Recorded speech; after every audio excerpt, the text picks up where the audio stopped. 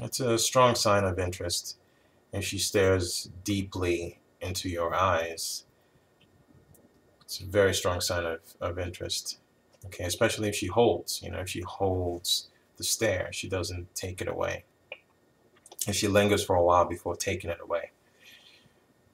And if she's staring deeply in, it's it's it's almost like she's she's essentially imagining what it would be like to go out with you or to be with you or to touch you, to hold you, to have intimate conversations with you, to share with you. So when she stares deeply like that, it's it's almost like she's she's she's daydreaming in essence about you and her. You know, and, and for a second it's almost like she's transfixed. You know, she's not quite familiar, she's not quite aware of her surroundings at that point. She's just so engrossed in what she's imagining the both of you doing that she's probably not fully aware of what's going on around her. So when a woman looks at you that deeply, then uh, that's a very strong sign of interest, you know.